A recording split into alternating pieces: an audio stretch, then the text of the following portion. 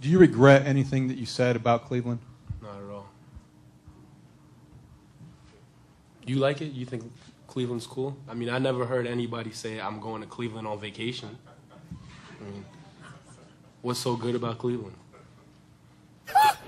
That's my guy. That's why he's my favorite player. I'm Joakim, Noah. He is unbelievable. I I thought he was gonna stop, and then he gave you the. hey, you ever been on? You ever get that call?